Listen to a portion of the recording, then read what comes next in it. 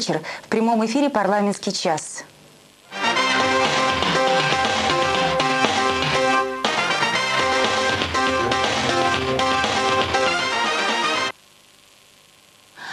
Вчера в нашей передаче прошел отчет о работе Всероссийского совещания народных депутатов Советов всех уровней, на котором было принято обращение. И э, мы сегодня зачитаем э, это обращение.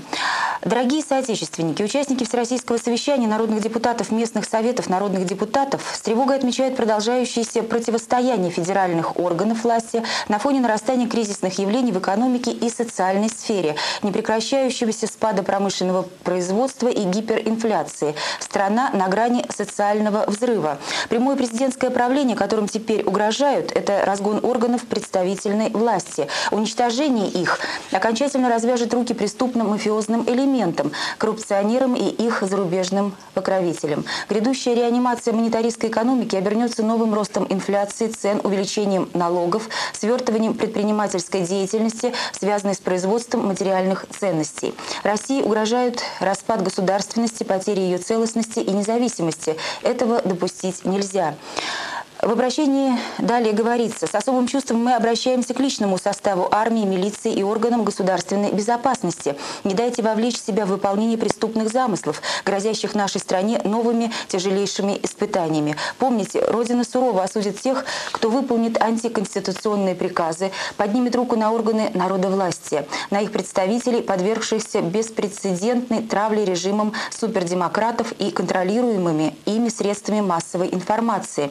Безопасность Безопасность и права всех тех, кто выступит в поддержку конституционного строя, будут защищены органами народовластия. Мы обращаемся к международной демократической общественности, парламентариям и депутатам местных органов власти государств мира. Поддержите парламентаризм России, обратите внимание на происходящее перерождение власти в демократический режим.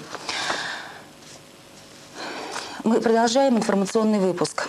Председатель Белгородского областного совета народных депутатов Бескмельницын считает, что без федеративного устройства не может быть государства российского.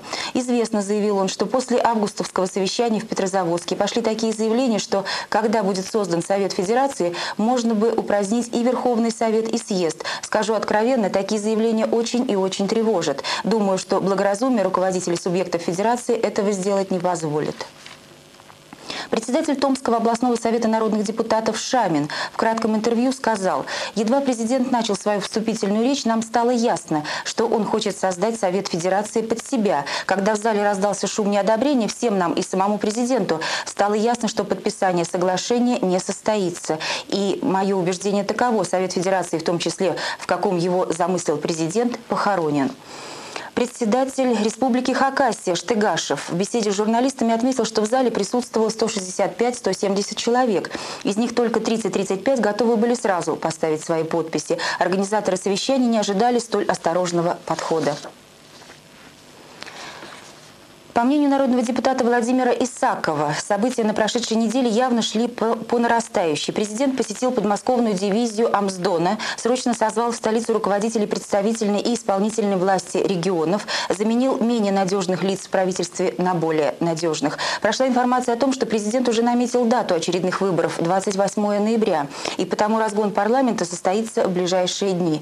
На пути Ельцина на этот раз встали представители российских регионов, которые решительно отказались осветить своими подписями очередную президентскую авантюру формирования Совета Федерации. По уточненным данным, 3 миллиона 49 тысяч человек приняли участие в коллективных акциях протеста, организованных 17 сентября на 1023 предприятиях оборонного комплекса, отраслевыми профсоюзами и региональными профцентрами, входящими в Федерацию независимых профсоюзов России. На ряде производств, в частности на радиоэлектронных предприятиях Санкт-Петербурга, приостанавливалась работа. В Краснодаре и Перми прошли многолюдные митинги. Участники митинга в Ставрополе потребовали отставки президента и правительства производства. На предприятиях Смоленска, Красноярска, Самары, Саратова, Челябинска, Пензы, Тамбова, Тулы, Москвы и Московской области, Санкт-Петербурга, Новосибирска, Новгорода, Калуги, других городов прошли митинги, собрания, сбор подписей. В адрес правительства Верховного Совета были направлены письма и телеграммы, содержащие требования работников оборонки. Требования эти таковы. Выполнение закона Российской Федерации о конверсии, а также генерального и отраслевых тарифных соглашений, предусматривающих кредиты на конверсию, а не бесконтрольный развал отраслей с высочайшей технологией. Разработка государственной военной доктрины и программы вооружения для обоснованного формирования пакета госзаказов. Немедленный расчет за произведенные поставки по госзаказам. Повышение заработной платы до среднего уровня машиностроительной промышленности. Самарская область предпримет шаги к изменению своего статуса, если в ближайшее время президентом и правительством Российской Федерации не будут созданы предпосылки к выравниванию прав территорий. Об этом заявил в понедельник на пресс-конференции в Самаре председатель местного облсовета Олег Онищик, принимавший участие в первом учредительном заседании Совета Федерации 18 сентября в Москве. А теперь видео новости. Сегодня бюджетное финансирование развития медицинской науки составляет 27-30% от необходимого. Состояние медицины и здравоохранения в целом неудовлетворительное. Здоровье населения ухудшается. Российская академия медицинских наук за три последних года не получила ни одного инвалютного рубля – эти и другие наболевшие вопросы, высказанные президентом Российской Академии медицинских наук Валентином Ивановичем Покровским, стали 21 сентября темой разговора ученых-медиков с председателем Верховного Совета России Русланом Хасбулатовым. Помочь в решении проблем сможет, по мнению Руслана Хасбулатова, принятие парламентариями закона Российской Федерации о научных медицинских исследованиях. В настоящее время разработанный в Верховном Совете законопроект готовится ко второму чтению. Он сможет стать основой для разработки федеральной программы развития медицинской науки, добавил Руслан Хасбулатов. Как мы уже сообщали, в минувшую субботу в парламентском центре прошло совещание депутатов Совета всех уровней, а вчера совещание Советов по бюджетным вопросам. Об этом э, наш корреспондент поговорил, об этом и о других вопросах наш корреспондент поговорил с председателем Верховного Совета Мордовской ССР Бирюковым Николаем Васильевичем. Николай Васильевич, э, в субботу было проведено совещание представителей Совета всех уровней. Какая была необходимость проведения этого совещания? Ну, я думаю, много комментировать здесь не следует, поскольку связь с низовыми звеньями всегда давал возможность выработки правильной политики, действий конкретных вышестоящих органов. А в наши тяжелые я даже назову, что смутное время, когда ведутся прямые нападки на советы, на советскую власть, кто, как не сами советы, должны прежде всего сами себя защитить, а защита выражается в выработке правильной тактики поведения. А какая должна быть линия поведения у Совета? Я думаю, что прежде всего сила Советов состоит в том, чтобы провести четкий анализ состояния дел во всех отраслях народного хозяйства, социальной жизни и в углу всех проблем, которые стоят сегодня перед нашей страной, поставить проблемы защиты населения, социальные вопросы. Хорошо. Скажите мне, пожалуйста, согласны ли вы с оценкой средств массовой информации э, данной по поводу выступления Руслана Хасбулатова? Ни в какой степени. Почему? Ни в какой степени согласен с оценкой э, данной по радио. Вчера я, кстати, слышал по маяку были резко высказаны в адрес председателя Верховного Совета. Дело в том, что э, обстановка действительно чрезвычайно сложная – в целом нашем государстве. Ну, для тех, кто не знаком близко реальной жизнью, скажу, что чрезвычайно сложно на местах, особенно в сельской местности, не только в сельской местности.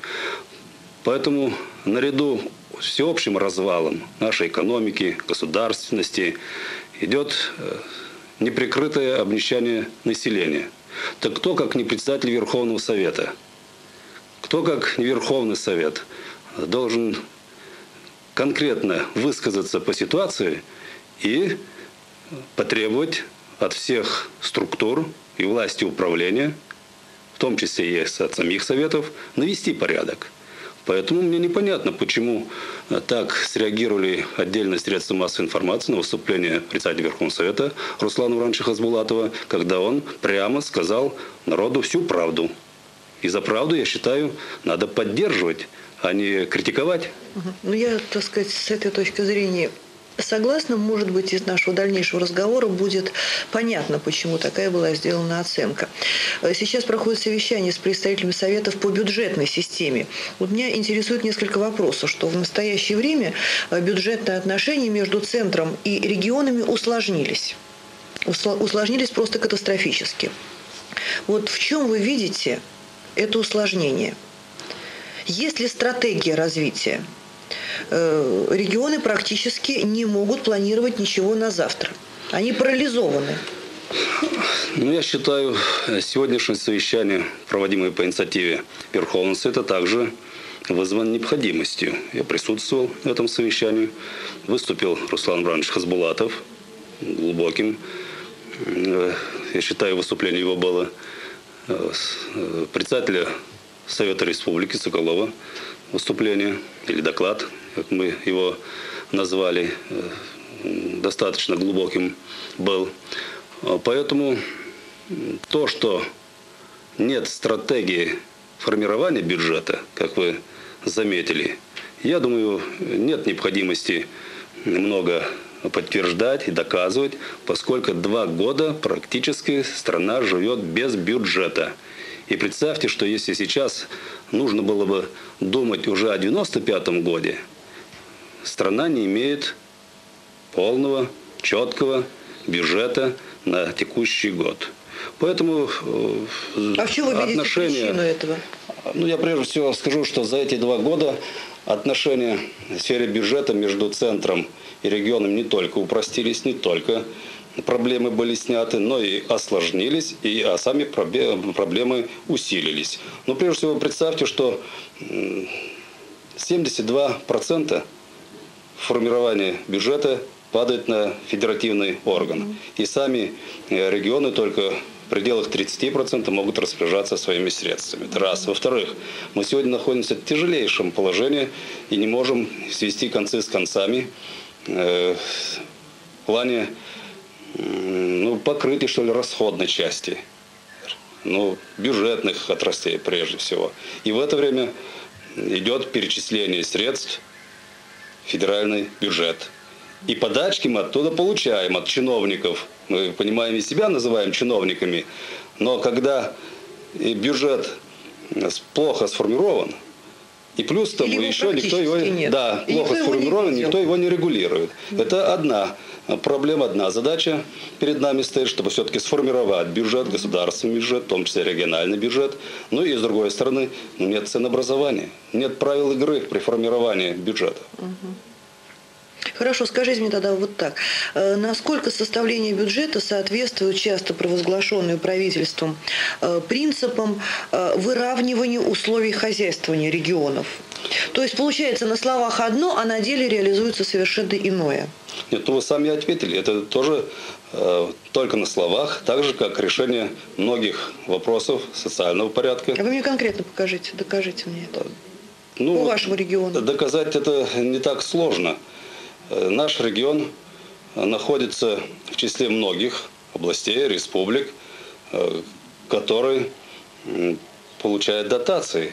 Ну, в таком центра. случае вы, да, но совершенно в, в таком поэтому, случае поэтому, вы вообще не имеете права не выступать, я ничего говорить. Нисколько не согласен с вами. Да вообще сидите тихо. И нисколько не согласен не с вами. Если Россию хотят превратить в сырьевой придаток Запада, Америки, тогда действительно нам, не сырьевым регионам, как вы сказали, надо сидеть и молчать. Но мы считаем, что все-таки имеем сегодня развитую индустрию в республике, и республика нужна в целом для государства. Промышленность наша имеет высокую конкурентоспособность. Если мы далее ставим задачу перед государством, перед регионами, чтобы развивать Россию не по пути сырьевого придатка, а по пути развития научно-технического прогресса, тогда республика имеет достойное место, место в общей экономической системе государства. Это одно. И второе. Я думаю, что неправильно мнение складывается и у вас, как вы мне сказали, что молчите, коль вы дотационные. Ну, я это, конечно, сказала, чтобы немножко вывести вас на разговор. А я понимаю, что... В принципе, это неверно. Сложное положение. Мы должны продавать свою продукцию по той цене, по которой она нам обходится. А представьте, что около 70% светотехнической продукции производится в нашей республике. И это не просто эта лампочка, которая поставляется э, получателям от нас регионов. При производстве мы э, заражаем и экологию, и наше население сегодня, э, скажу, что испытывает ну и трудности и последствия от ртути, производства светотехнической промышленности, которая богата. И если говорить о том, что эта продукция не нужна России, тогда вы правильно ставите вопрос, вы молчите и э, никаких проблем не ставьте перед центром. Но мы знаем, что нет единого ценообразования, нет правильной ценовой политики. И в этой ситуации, конечно, мы можем и диктовать и российскому правительству, прежде всего, потребовать от него, чтобы э, правильную политику цен сформировать. Тогда не будут дотационные области региона в целом. Насколько нам известно, Верховный Совет принял решение о нецелесообразности организации нового Совета Федерации. Почему, с вашей точки зрения? Не Верховный Совет, а Президиум Верховного Совета нашей республики да. принял постановление, где сказано, что нецелесообразно создавать новое формирование в виде Совета Федерации Российской Федерации в целом. Почему? Потому что Совет Федерации действовал, он был создан ранее, в 1991 году, поэтому есть необходимость э, в какой-то степени, степени модернизировать. И отдельно положения, которые были направлены нам администрацией президента, в соглашении по Совету Федерации, они просто были неприемлемы. Поэтому наш президент Верховного Совета принял, э, я считаю, что правильное решение, в принципе, не, не отвергая саму идею о Совете Федерации, потому что в этот сложный период надо и совещаться, и советоваться, и принимать конкретные решения социально-экономической жизни нашей э, страны. Но кто мешает президенту страны, председателю Верховного Совета собирать председателей советов, глав администрации для совета. Если говорить для совета. Неужели нужно еще дополнительно создавать какой-то орган, узаканивать его? То есть вы считаете, что не оправдан созыв этого совещания?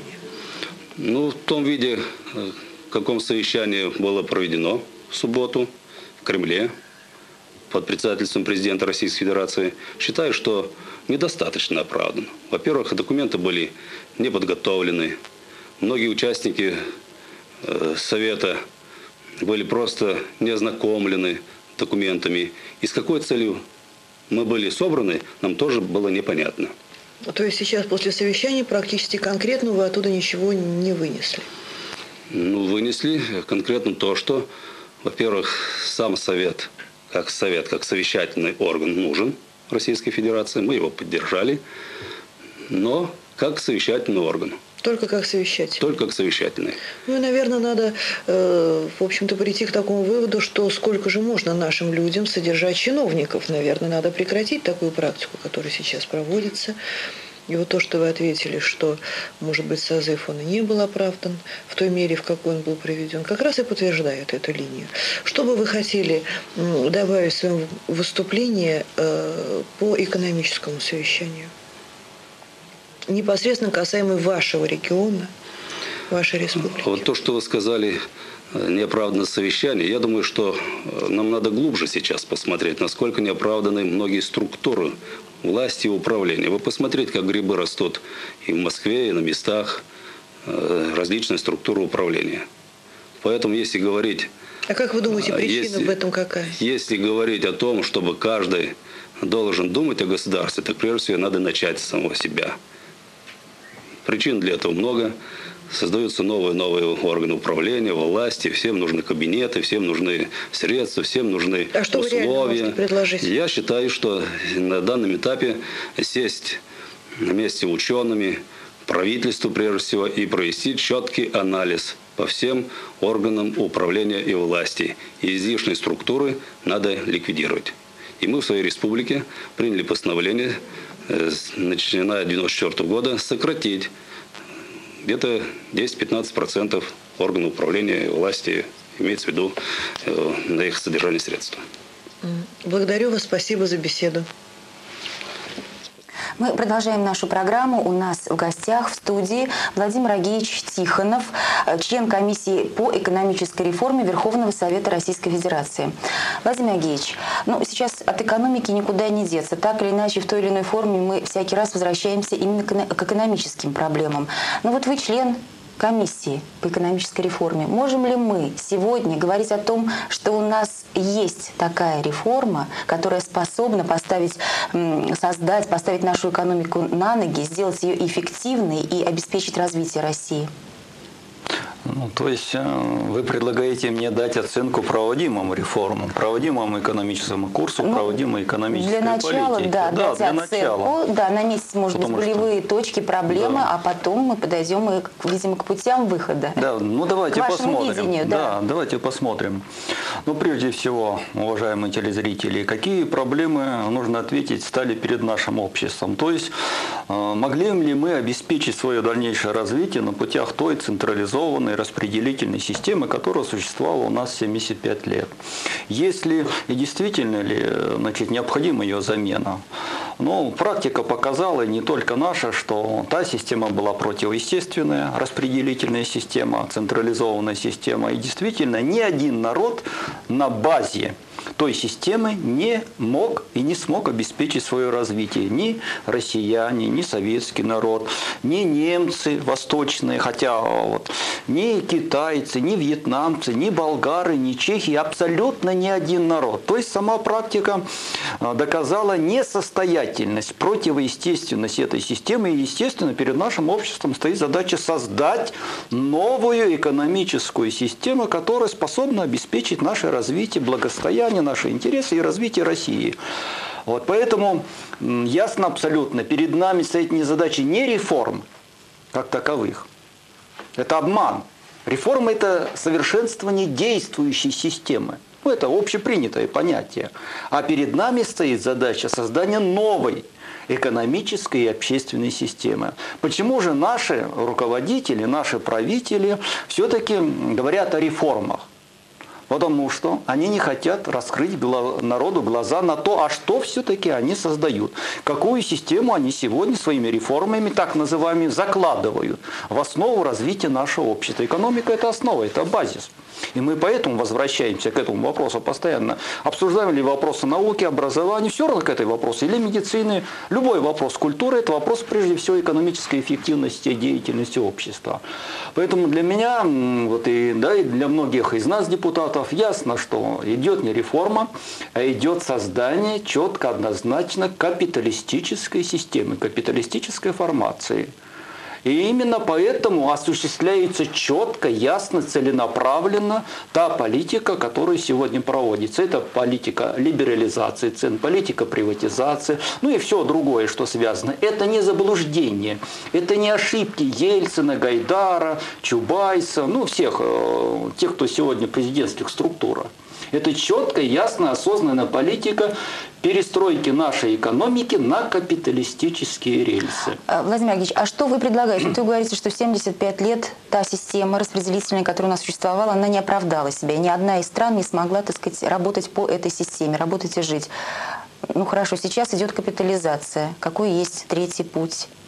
А. Общественно-экономической формации, системы как а, хотите. Нина Владимировна, мы прежде всего должны ответить на вопрос, прежде чем на тот ваш ответить, а способна ли сегодня капиталистическая система обеспечить развитие нашего общества? Если способна, вопросов нет. Необходимо ее внедрять. Мы же видим, что э, определенное количество стран ну, Западная Европа, США, Канада, ряд других стран обеспечили очень высокий уровень своего развития. Вот, допустим, Николай Ильич Травкин четко говорит ясно, ну что изобретать велосипед, что думать, какую нам создать общественную систему, какой-то третий путь, нечего изобретать велосипед, вот там есть, вот давайте то и внедрять. Вот мы и внедряем то, что сегодня. Так мы должны, э, может быть, действительно, ну год, два, ну десять лет помучаемся, народ наш все вытерпит, он все терпит. Вот потерпит народ, уничтожит нужна будет наука, образование, но каким-то чудом мы все-таки ну, создадим эту капиталистическую систему, так вот обеспечит ли она развитие? Понимаете, в чем дело? Ведь нет множества путей развития. Ведь капиталистический путь – это естественный путь развития. Но как каждый путь, он приходящий. То есть он пришел на смену феодальному обществу, естественный абсолютно. Нельзя его ругать. Вопрос не в этом. Вопрос в том, что он приходящий, следовательно, он точно так же, как мы с вами, проходит стадию юности, зрелости, да, потом уже поумнели, и пора собираться да, Владимир куда. так все-таки может быть применена ли вот эта капиталистическая система в нашей стране? Значит, а, совершенно верно, вопрос вполне закономерен. То есть, оправданы ли наши те сегодняшние страдания, завтрашние страдания, муки наши, а, ради чего мы терпим это все, действительно. А, то есть, обеспечит ли она наше развитие. Значит, э, у нас, э, поскольку у нас действительно заидеологизированная пресса, заидеологизированная пресса, у нас действительно правду, правда об этом, то есть объективные исследования не проводятся и не обсуждается проблема развития. Мы опять Пусть меня простят коммунисты и другие, кто, как большевики, готовы замордовать собственный народ, но не обсуждаем. Ну, вот проблема нашего развития. Вот материалы Международной конференции Организации Объединенных Наций по окружающей среде и развитию. Эта конференция состоялась в июне в Рио-де-Жанейро 92 года, в прошлом году, да. год назад. Во главе, в составе глав правительств и государств капиталистических стран – Именно. Работали эксперты, огромные комиссии, исследователи, научный потенциал всего мира был привлечен. И они пришли к выводу, что на тех путях, которые сегодня обеспечили развитие 20-30 этих стран, дальнейшее развитие человеческой цивилизации невозможно невозможно. Они пришли к этому выводу. И действительно, ведь 96% развивающихся стран, разрыв между развитыми и не сокращается, увеличивается. То есть только 4% стран э, догоняют развивающие, а остальные все больше и больше отстают.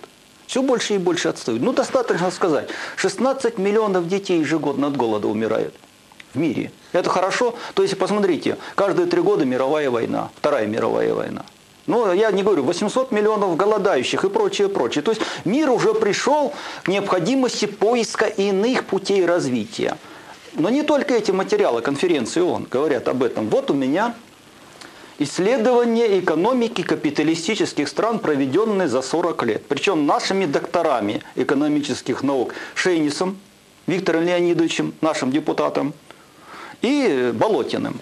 Вот это, это чудная книга. Причем э, сами ее создатели не оценили ее огромнейшее значение вообще и для нашего, в том числе и для России. Динамика развития исследований четко, ясно говорит, во всех странах, в США, в Японии, в западных, в развивающихся абсолютно из года в год, последние 30 лет, темпы выпуска валой внутренней продукции, производительность труда из года в год падают и уже приближаются к нулю. То есть эта динамика четко, ясно говорит, на базе наемного труда, положенную в основу капиталистического общества, невозможно обеспечить свое развитие. Поэтому для меня абсолютно ясно. Капиталистические отношения были естественные 18, 19, первой половины 20 века. Но они сегодня на пороге 21 века уже, то есть Решили наемный себя. труд, совершенно верно, исчерпал себя наемный труд. Поэтому положить в основу 19 век и пытаться выйти на 21 век, то есть с помощью отношений прошлого выйти на современный уровень абсолютно невозможно. Это чистейший авантюризм. Это чистейший авантюризм. И, кстати, именно поэтому, что это авантюрная политика, ведь и у Горбачева ничего не получилось с перестройкой, потому что он не понимает, э, и его команда не понимала проблемы развития нашего общества. И у, Горбач... и у Ельцина с его командами многочисленными ничего не получается и не получится. Э, Владимир Агеевич, э, давайте мы ненадолго прервемся, посмотрим следующий репортаж нашего корреспондента, где также идет речь о проблемах экономики, о будущем российской промышленности, и во всем этом звучит тревога за ее будущее. А затем продолжим разговор. Давайте посмотрим. На днях подмосковный концерн «Подольск», знаменитый швейными машинками, открыл свои двери для иностранных журналистов. Гостей, а поездка была организована Верховным Советом по просьбе Ассоциации иностранных корреспондентов, аккредитованных в Москве, приветствовали председатель Совета Республики Вениамин Соколов и команда управленцев концерна во главе с его президентом, 40-летним Григорием Комаренко. На фоне общего обвала промышленного производства в минувшем году подольские машиностроители изготовили 1,6 миллиона бытовых и 48 тысяч промышленных швейных машин, соответственно на 6,5 и 2,5% больше, чем годом ранее. У предприятия две точки отсчета. Далекий 1900 год, когда компания «Зингер» основала завод по выпуску швейных машин, и декабрь 1991 года. Оформление нового концерна в акционерное общество закрытого типа.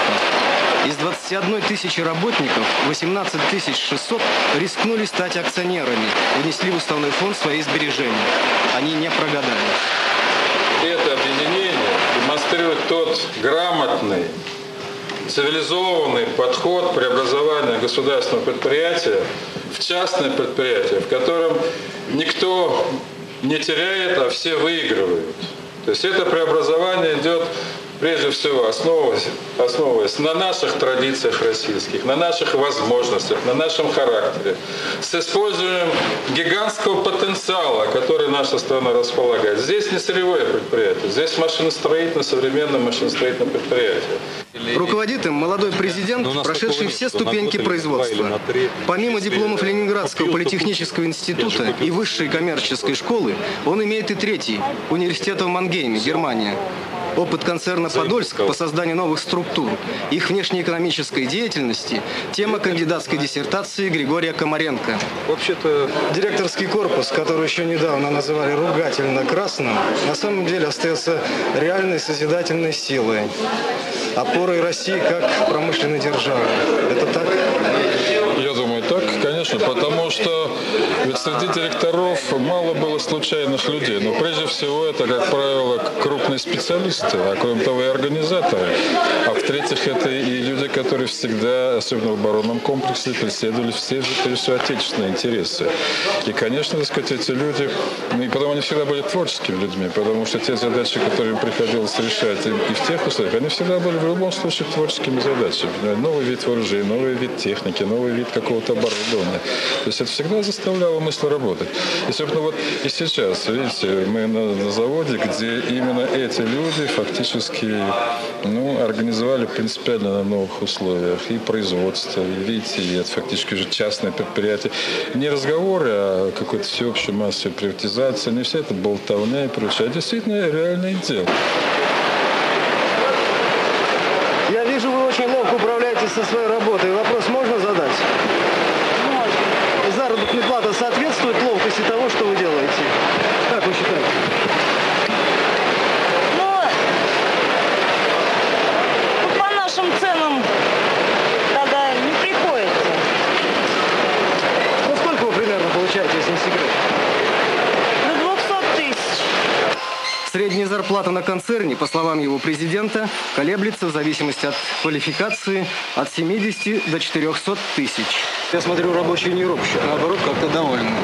Я не, не сказал бы, что они довольны. Это просто русский характер. Они не хотят показать, что они э, чем-то э, задавлены или чем-то э, ну, какая-то тревога. Есть от чего тревожиться. Это объединение сейчас испытывает огромные трудности вот в силу той экономической ситуации, в которой мы оказались, в результате безумно, бездумно проводимой либерализации, которая была начата в прошлом году. Вот сейчас мы пожинаем плоды этой политики, когда практически предприятие, независимо от формы собственности, оказывается в сверхкритическом состоянии. Нас спасет сегодня э, правительство, которое э, обратит внимание на производство. Я напоминаю, что у нас в студии Владимир Агеевич Тихонов, член комиссии Верховного Совета по экономической реформе. Владимир Агеевич, на чем мы с вами остановились? Что э, централизованная система распределения, при которой мы жили 75 лет, так сказать, себя не оправдала, как вы говорите. Капиталистический э, путь развития себя исчерпал. Что э, вы видите, так сказать, в дальнейшем? Какой путь выхода, какую форму общественно-экономического устройства? А, вопрос вполне закономерный, естественный. Если не то, не это, так что же? Ведь э, сейчас все готовы критиковать. Да, и критиковать, да, это, кстати, самое верно. такое популярное дело. А ответ, э, что, какая система? Что делать? Да, что делать, лежит в понимании того, почему капиталистическая система, то есть система основана на наемном труде, почему она стала уже тормозом, то есть исчерпала себя, почему э, наша человеческая цивилизация не может обеспечить. Как только мы э, осмыслим это, найдем там ответ, мы найдем ответ, а что, какая экономическая система, какая общественная система должна быть э, сегодня соответствует, то есть достигнутому уровню развития цивилизации. Ну, ваша комиссия так, нашла этот ответ? Значит, ну, вы прекрасно понимаете, что наша комиссия не научный центр, это первое. И второе, она же только-только только создалась. У нас же был комитет по экономической реформе во главе с Сергеем Николаевичем Красавченко, который абсолютно не допускал мысли, что то, что делается, это что-то не то. То есть он верой и правдой служил президентской команде Борису Николаевичу Ельцину, Гайдару и прочее. Поэтому никакого обсуждения в нашей комиссии, не только в нашей в нашем комитете, э, и в Верховном Совете практически нашим же комитетом не допускалось действительно такого обсуждения вопроса. Вот смотрите, в Японии пришло новое правительство. У них не стоит задача смены общественной системы, а стоит задача совершенствования системы. Так и то парламент неделю обсуждал эти вопросы. Депутаты обсуждали. А мы готовы опять э, значит, э, разрушать но не обсуждать. Так я к чему? В чем же кроется причина э, значит, утраты своей, так сказать, созидательной э, значит, начала в наемном труде. Почему? А действительно, мы же не заметили, что стало определять сегодняшнее развитие нашего общества, человеческой цивилизации. Не лом ведь лопата, а труд ученого, труд инженера, труд конструктора, труд исследователя. И труд рабочего совершенно другой стал. Химический, физический, другие процессы. То есть... Видимо, этим объясняется, что именно э, ученым, врачам, так сказать, тем, кого вы назвали, кто определяет сегодня нашу жизнь, платят так мало, они уезжают за границу, мигрируют, так сказать, уезжают просто по контрактам. Но это, кстати сказать, э, то, что труд у нас ученых и специалистов не ценился, это остатки той нашей э, распределительной системы. Им действительно ничего не Вы доставалось. считаете, что тогда труд ученых не ценился? Безусловно. И не только труд ученых, труд всех специалистов, в том числе учителей, врачей, работников культуры. Но мы все прекрасно понимаем – что не ценился, нищенская была заработная плата. Что об этом говорить? Давайте не будем на то, что было. Давайте, что будет. Да, но мы как-то, мне кажется, что мы очень углубляемся в Нет, не углубляемся, понимаете? капиталистического способа, а я бы хотела, чтобы наши телезрители все-таки услышали конкретные, Нина может быть, пути предложения выхода из сегодняшней из ситуации. Из этого как раз вытекают четкие конкретные пути выхода. Значит, поскольку определять развитие цивилизации стал труд творческий, именно труд интеллектуальный, труд ответственный, поэтому он требует новых отношений собственности. Что он требует? Он требует, чтобы каждый работник был собственником результатов своего труда. Что, кто работает? те производители, чтобы и они были собственниками результатов своего труда, своей продукции. То есть трудовой коллектив собственник своей продукции, научно-исследовательский а Давайте на конкретных коллектив. примерах. А, а научно конкретный пример, кстати, у нас очень много этих конкретных примеров, и не только у нас. По инициативе президента Рейгана осуществляется уже 20 с лишним лет программа ИСОП. То есть собственники становятся, э, работники становятся собственниками Нет, вы знаете, коллектива. вот каждый сейчас телезритель, сидящий, сидящий у экрана, хочет узнать, вот шахтер, э, так сказать, какой собственностью он станет владеть. Так вот, Ученый, э, что ему, так сказать, так перепишут в собственность, что будет у меня в собственности, что будет у вас. Понимаете? Вот давайте вот конкретно, Нина хотя бы на наших примерах рассмотрим это. Я хочу не на примерах, я хочу вам сказать, что чтобы работники вот крестьянин, почему мы о крестьяне, о фермере говорим? Это же собственник-работник. Поэтому он отдает весь себя труду, результатом своего труда. Действительно работает, не считая со временем, всю свою энергию, весь свой потенциал а, отдает именно своему результатам своего труда. И мы точно так же должны провести фермеризацию труда во всех производственных и связанных с ним сферах. То есть сделать работников собственниками своих результатов труда. Это требует иной приватизации. Это требует приватизации труда, приватизации деятельности. А что вот конкретно для этого нужно? Вот вы задали вопрос, теперь я отвечу. Какие отношения собственности должны обеспечить получить собственность работников на результаты труда. То есть мы в основу нашего развития, в основу общества, ведь общество лежит, основывается только на труде. Только труд служит основой развития и богатства. Да какой мы труд заложим? Вот время требует, сегодня 21 век требует, чтобы в основу развития общества мы ложили труд собственника-работника. То есть работник, он в то же время и собственник результата своего труда. Тогда мы действительно обеспечим свое развитие. Что для этого нужно сделать? Для этого нужно прекратить вот это дикое ограбление народа, что сегодня под видом народной приватизации делается, это его учеризация, это ведет, идет практически бесплатная передача созданного столетиями трудом народа бесплатно в руки коррумпированных, мафиозных, номенклатурных, прежних и новых э, структур. Почему бесплатно? С помощью либерализации цен у нас изымают деньги, наши с вами заработанные средства, и на эти средства спекулянты, эти мафиозные и прочие теневые структуры скупают наши же предприятия. Владимир Ильич, какую есть, приватизацию а нужно? предлагаете вы? Совершенно верно. Что нужно, чтобы действительно у нас была эффективная экономика? Нужно передать предприятия, научно-исследовательские институты, э, совхозы, и многое-многое другое, э, конструкторские бюро, все производственные комплексы, включая оборонные, трудовым коллективом в полное хозяйственное ведение или в аренду. Не продавать им. Если хотят, пусть покупают. Хотя бы я ограничил. Почему? Они же цены вздуют, за счет нас же опять выкупят. Сегодня так и этот процесс идет. Я бы передал им фабрики, заводы, институты научно-исследовательские, проектные и всем полное хозяйственное ведение или в аренду, они в этом случае вынуждены покупать сырье, материалы, производить продукцию и продавать на рынке, на рынке продавать. Это первое. То есть в основу нашего общества мы должны заложить свободный труд собственников работников. Они должны быть хозяевами экономики, работать на рынок. Работать на рынок. Это первое. Что необходимо сделать? То есть совершенно иная приватизация. Не ограбление народа. Ведь у нас действительно мы даже не понимаем, у нас же спекулятивные а структуры никогда не станут деловыми. У нас и делового мира-то нет. У нас деловой мир – это трудовые коллективы, научно-исследовательские. Вот кому надо, кого делать хозяевами страны. Это первое. То есть приватизация совершенно в ином направлении. То есть дать приоритет трудовому коллективам. Хочет он в аренду, хочет полный хозяйственный вид, не хочет – выкупит. Это первое. Второе. Ясно, что пока нет конкуренции производителей, нужно жесткий контроль со стороны общества, со стороны государства за ценами. То есть прекратить эту либерализацию цен. Пока нет, потому что не, не действует э, саморегулирование. Саморегулирование действует только когда есть конкуренция. У нас конкуренции сегодня нет. Ясно, что в этом случае общество должно регулировать. Иначе у нас все производители, ну, они и так и действительно делают, вздувают цены, и все социальные сферы и прочее, прочее, все, э, ну, в принципе, ограбливается. Дальше.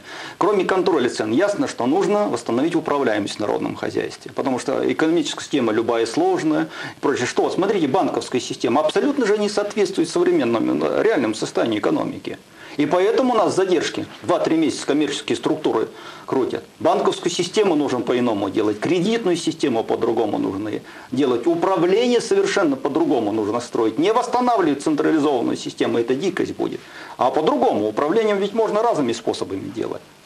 Поэтому вот с учетом этого я что должен сказать? Нет множества путей развития. Путь, вот наш, единственный – работники должны быть собственниками результатов своего труда. Да, Владимир Георгиевич, и все-таки я думаю, что не только я, но и наши телезрители, во всяком случае, не все не поняли. Собственниками это понятно что конкретно каждый будет иметь от этой собственности. Вот я перечислила несколько категорий. Врач, шахтер, учитель. Что имеет фермер? Журналист, что ученый. И, что имеет фермер от своих результатов труда? Как поработает, такого у него доход. Нет, вот вы можете мне сказать, что будет иметь шахтер? Какой собственностью он будет обладать? Что будет обладать какой собственностью журналист? Учитель. А, вот э, давайте конкретно. Я понимаю, что фермер будет Ну, маленько это глубже свои... система. Они, я, конечно, скажу, они будут обладать собственностью на продукцию, произведенную ими, на результаты своего труда. На результаты своего труда. Вот что они будут иметь. Что они будут иметь.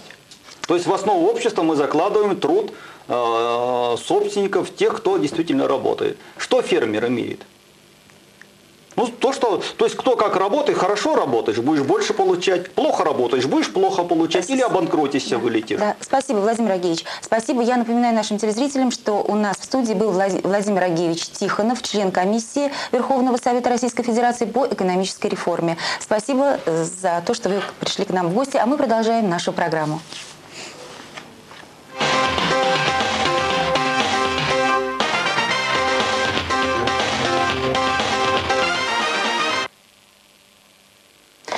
Сегодня в 17.30 в Доме Советов под председательством Руслана Хасбулатова состоялось экстренное заседание Президиума Верховного Совета Российской Федерации. Стала напряженная ситуация, сложившаяся во взаимоотношениях исполнительной и законодательной ветвей власти.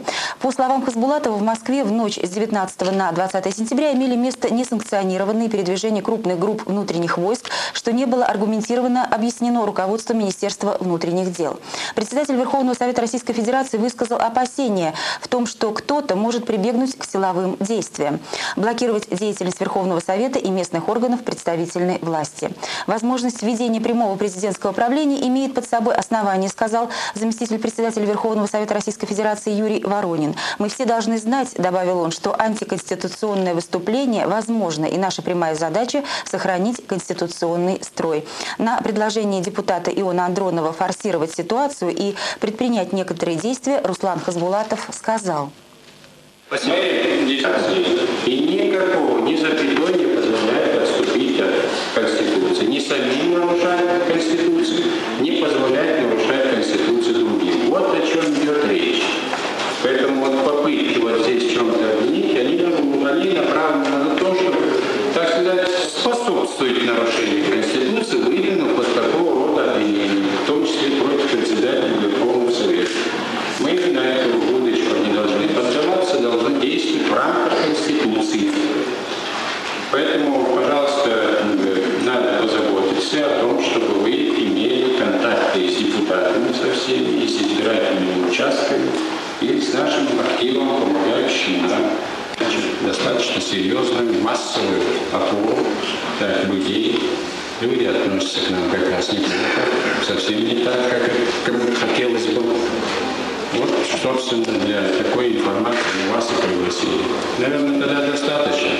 Так, хорошо? Будем спокойно и выдержанно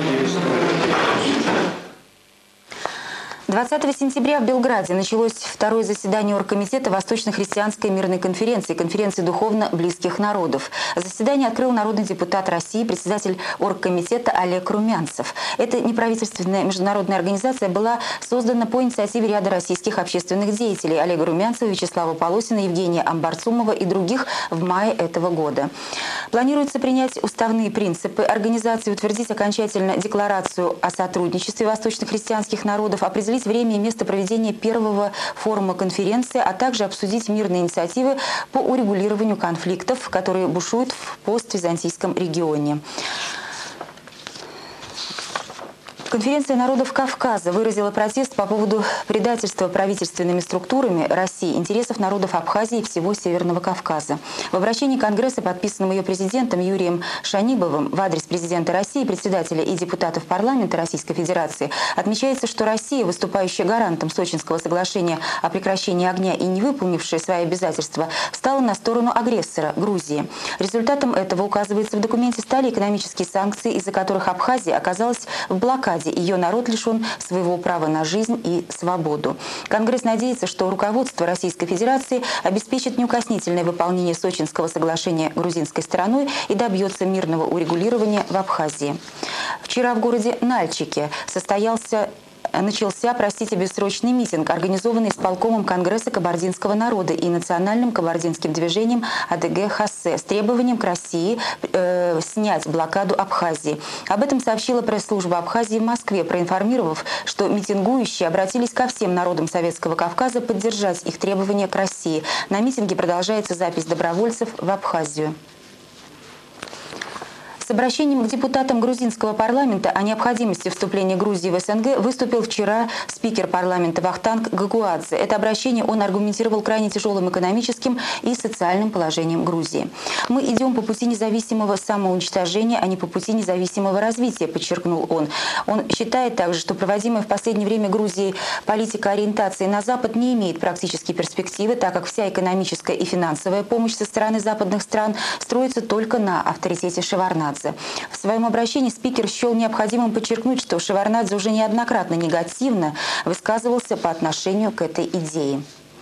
Избежать катастрофы можно лишь заключением экономического союза Украины с входящими в Содружество независимыми государствами. Таково главное содержание обращения в адрес Верховного Совета, президента и Кабинета министров республики, принятого участниками состоявшегося здесь совещания руководителей местных советов, Совета руководителей промышленных предприятий города, а также областной ассоциации промышленников. В обращении отмечено, что угроза утратить государственность исходит не от экономической кооперации и интеграции, а как раз напротив, от замкнутости Украины. Нам только что поступила телеграмма э, от Комитета женщин Абхазии и Союза женщин Абхазии из города Гудаута. Телеграмма обращена всем женским организациям России, всем женщинам России.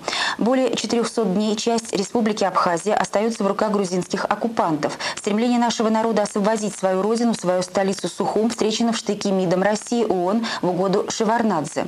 Объявленная Россией экономическая блокада задушит голодом и холодом многонациональный народ Абхазии. Десятки тысяч беженцев, вывезенных из блокадного города Ткварчел, согнанных из оккупированной части Абхазии в Гудауту, Гагру, Пицунду, вновь оказались в блокаде. Вот уже несколько дней из-за отсутствия света голодают дети, старики, женщины. Мы обращаемся к вам, женщины России. Подайте свой голос защиту и поддержку освободительной борьбы народа Абхазии. Помогите снять экономическую блокаду. Если санкции не прекратятся, беженцы будут прорываться через границу и требовать убежища в Российской Федерации. Мы продолжаем информационный выпуск. 18-19 сентября 1993 года в городе Герои Минске состоялся второй съезд Союза офицеров Республики Беларусь на котором присутствовали представители всех республик Советского Союза. На съезде была принята программа и внесены изменения в устав. По многочисленным предложениям присутствующих было принято решение об изменении статуса съезда из республиканского во всесоюзный и создании Союза офицеров СССР. Обсудив все вопросы, связанные с программой и уставом, был создан оргкомитет по подготовке второго этапа съезда, который состоится 23 октября 1993 года, где будут избраны руководящие органы Союза офицеров и приняты программные документы. Сегодня назрела пора нам всем народам объединиться. И 20 сентября 20 сентября состоится Конгресс народов Союза СССР с Булатом Тамбысевичем. И он вчера же послал письмо в Конституционный суд о быстрейшем рассмотрении ходатайства нашего более подписано более 80 депутатов о денонсации Беловежского договора. Э, ну вот мы только что посмотрели репортаж о съезде Союза офицеров в Минске, который проходил под флагом Всесоюзного. А продолжить эту тему мы попросили у нас в студии председателя Союза офицеров Станислава Терехова и представителя э, Союза офицеров из Белоруссии, заслуженного военного летчика СССР, генерал-майора Баранкевича э, Анатолия Игнатьевича. Э, Станислав Николаевич, вы были председателем оргкомитета съезда офицеров Беларуси. Э, в чем необходимость и каковы причины созыва этого съезда? Необходимость возникла потому, что созрели экономические, военно-политические и социально-психологические предпосылки к воссозданию страны. Естественно, процесс должен быть начат э, от регионов, процесс должен начат от тех групп населения, слоев, которые стремятся больше всему к этому объединению. Военная – это та часть, которая обеспечивает безопасность, национальную безопасность государства. Мы поняли, без единых вооруженных сил ни одна республика не способна будет себя защитить. Поэтому создание единая всесоюзная офицерская организация, что впервые в истории, и предопределила ее проведение этого съезда. Анатолий Игнатьевич, вот вы как представитель Белоруссии, сам живете в Минске. Почему этот съезд проходил в Минске? Это имеет э, свой смысл. Ведь именно там, на белорусской земле, свершился этот кощунственный акт по разрушению нашего Советского Союза. Мы посчитали, что и возрождение его именно надо начинать там. Ибо создание Союза офицеров СССР и есть начало отсчета. Э, Станислав Николаевич, э, я знаю, что на э, вашем съезде была избрана делегация на Конгресс народов СССР, который вчера проходил. Так вот, какие функции у этой делегации были, какие задачи были перед ней поставлены и были ли они решены? Да, несколько десятков человек, военных, офицеров были избраны, я подчеркиваю, избраны представительно от семи республик Советского Союза, от десятков регионов Российской Федерации на Конгресс. Я вчера доложил от имени делегации, было зачитано обращение, где мы четко заявили, что мы готовы вложить все свои силы для воссоздания державы Советского Союза. Вот это главная цель военной делегации. Мы предложили ряд организационных мер, технического порядка, э, идеологического, имея свою базу, свою концепцию строительства будущего государства, будущей армии. И это было вчера доложено Конгрессу. Народ поддержал. Второе. Мы понимаем, что без новых людей, новой волны политиков, военных, экономистов, юристов и тех людей, которые готовы высшие, высшие интересы государства ставить на первое место, а узкопартийные и личные отодвинуть на потом, это сейчас время пришло. Поэтому говорим, когда сейчас у власти стоят люди, перерожденцы, приспособленцы, более того, предатели – мы считаем, что никакое государство не может быть создано, тем более великое государство. Мы выразили на съезде недоверие министра обороны Грачева. Мы неоднократно заявляли, обращались в Верховный Совет, что на посту министра обороны должен кристально честный, чистый человек стоять, а не тот, который уезжает в Соединенные Штаты, получает инструкции, заявляет, что там какие-то миротворческие силы готов создавать. У кого он спросил это? Мы выразили недоверие этому человеку и сказали, что есть люди, такие как генерал Ачалов, патриот, депутат Верховного Совета. Он сможет быть министром обороны, мы ему доверяем. Второе. Мы выразили недоверие президенту Ельцину. Вообще институту президента. Нашей стране не нужны президенты на всей территории Советского Союза. Этому человеку особое недоверие. Два с половиной года был президентом, не думал о войсках. Вдруг приспичило поехал. Таманская дивизия, Кантемировская, воздушно-десантной части. Сейчас был недавно в Амсдоне. Для чего это делается? Я знаю для чего. Мы получили сведения сегодня, что президент готовит очередной свой выкрутасы. Обращаемся. Хватит валять дурака. С военными людьми так не поступают. Мы по статье 14 Закона об обороне вооруженные силы подчиняются Верховному Совету. Мы обеспечим защиту, обеспечим защиту народа, но предупреждаем, если будут антиконституционные действия введены сегодня, завтра, послезавтра, мы готовы ответить. Будьте уверены, народ нас поддержит. Спасибо, Станислав Николаевич. Можете ли вы э, что-то добавить, Анатолий Игнатьевич? Э, Нина Владимировна, позвольте мне сделать обращение к народным депутатам Советского Союза. Пожалуйста. Граждане Отечества, случилась огромная небывалая беда. На наших глазах наблюдается возврат почти что к средневековому укладу жизни. Ширится антинародная жестокая межнациональная война обманутых народов, кровью и страданиями которых национал-патриоты, э, предатели пытаются поделить нашу неделимую страну, которая с таким трудом создавалась веками. По ее просторам перемещаются сотни тысяч поверженных отчаяния изгнанников – лишенных даже надежды на обретение крова над головой. Неужели окончательно окаменели наши сердца и души? Что с нами случилось, братья? Почему мы так легко соглашаемся убивать друг друга? Глумимся над нашей историей, идеалами, святынями, памятью, совестью и честью.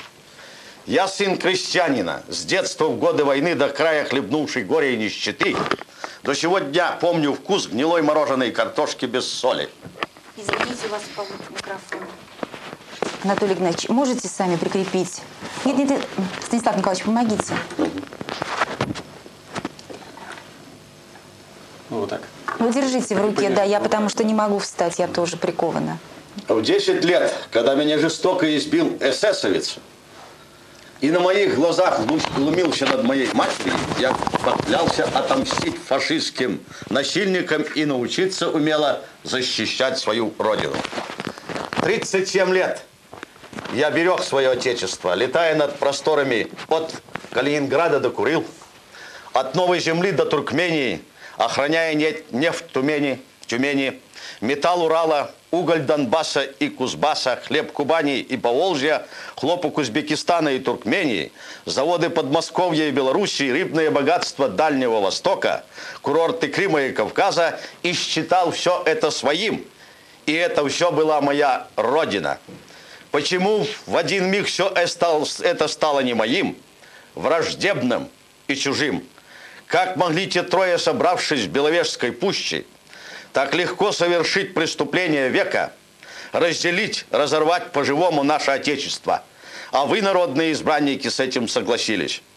Почему мы бросили нас и трусливо разбежались?